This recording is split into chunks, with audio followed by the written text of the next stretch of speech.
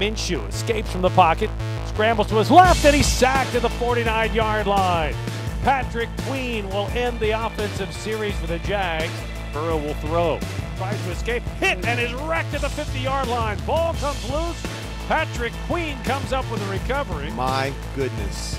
Baker Mayfield wants to throw. Patrick Queen comes on the blitz and sacks Mayfield back at the 45 yard line.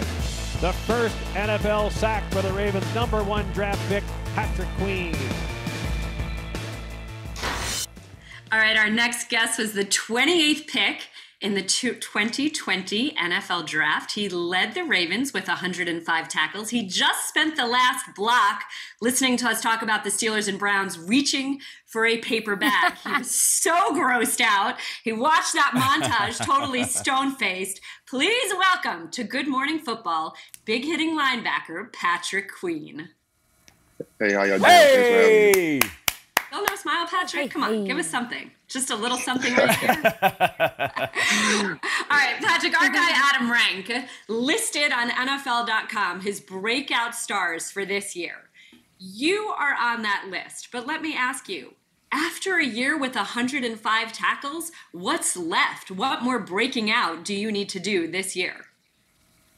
Uh, I'm not a complete player yet, so uh, there's a lot of stuff I had to clean up from last year. So being a breakout star pitcher for next year, uh, you know, it's kind of it's kind of a humbling thing and exciting thing as well, just to get to prove everybody that I am a star. And um, you know, it's there's a lot of stuff to clean up, like I said, but we're looking forward to the season that we're about to have. So.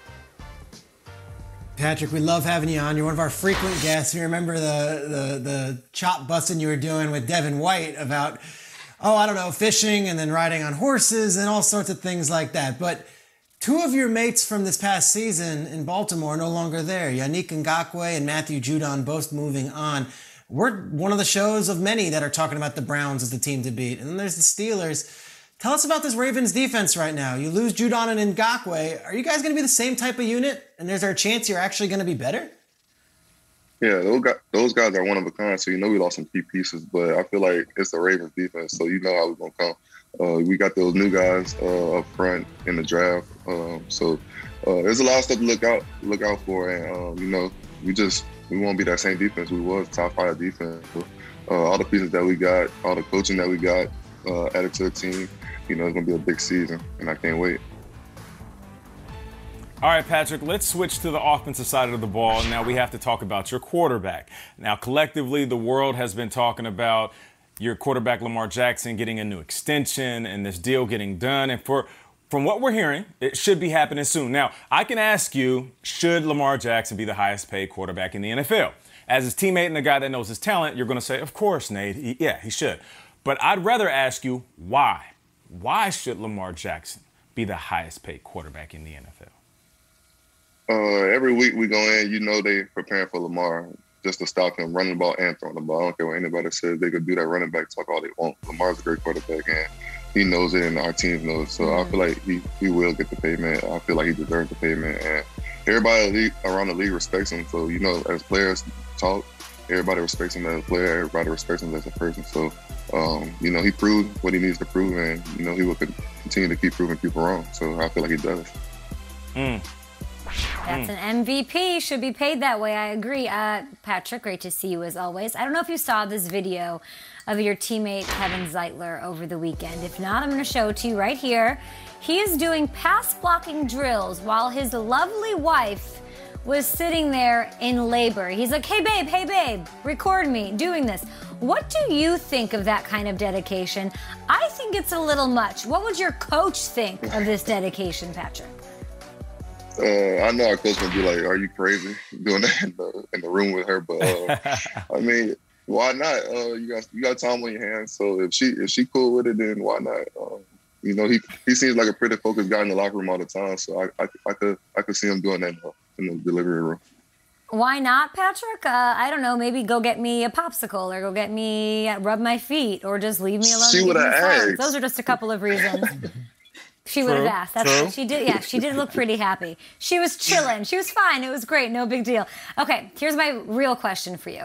You wore number 48. You switched it. Players can switch now. Uh, you wore 48 your rookie season. You changed to six. I ask you, Did you think about or did you have a conversation with Lamar? Because we all know you rock that eight at LSU. I did jokingly. I did have a conversation with Lamar, and uh, you know, it, it, was, it was a talk. It was a good talk, but uh, you know, I was all focused on the season, and you know, the number. It was like a side thing, and um, a single digit was open, so I took it, and that, that's all it really is. Um, you know, it's just where we from. We call he he uh he was just like you know if you pay for it we good. So I was like, all right, how much? He told me. I said, no, I'm good. Nobody got money like that but you. So. Quick conversation with Lamar Jackson. Yeah. Uh, so number six it is. That's cool, and we appreciate that. It's gonna be a cool jersey. It'll sell in that Baltimore area and hopefully nationwide. But the show that nationwide took the the world by storm a couple years ago was the Queen's Gambit. Your last name is Queen. We're gonna have some fun with you, Patrick. We're gonna do something called Patrick Queen's Woo! Gambit, and we are going to ask you a question, and then in classic chess form, you are going to respond with your opening move. So, if I were to say to you that the AFC North goes through the Steelers in 2021, what would be your first move? Beating them twice this year. Simple as that. Uh, if that's how they feel, and then we're gonna we're gonna see what the pads come on. Here we go. Mm. Hey, hey Schrags, I call that a speed rush right there. Um, all right, so uh, we, we know we know that you, we know that you're a Marvel fan, right? Last time you were on the show, you told us, and you said that Hawkeye is your favorite Avenger. So if somebody were to say that Hawkeye is the worst Avenger, what's your defense? Like, what would be your first move? he's a he's a regular human doing what the superhero do, banging with the superhero. So uh, you got to give it to him. Like he just got a guy with arrows, and he did a lot of stuff in Endgame to keep that uh, Avengers team afloat. So I give I'll pass off to him because a regular human that's real. Not, not supposed to be possible. All right, Patrick, I'm taking a little talk. personal. I'm going to take it a little personal here. I am a big sister to a little brother, and I have been told that you have three big sisters. So let's say someone says a little brother is not necessarily the person you want to be dating. What's your opening move to that line? Oh, that's so tough. Oh, I just, I just have to show them. I can't really do anything about it. That's how they feel. That's how they feel. The only thing I can do is just, you know, show them different. Try to, you know, try to persuade them a little bit. But I'm not gonna stress it at all. If that's, they, if that's how they feel, then probably they don't deserve me in that point. Then. True that. That's a good okay. answer, Patrick. But wait, wait, let me give you another one. You tell them all that your big sisters trained you well and you know exactly how to put the. There we go. Yeah. If we're in that situation, then they, then they should already know that. oh. oh, that's the next okay. move. He's two moves ahead. What's happening right now? that's rook to king. Yes.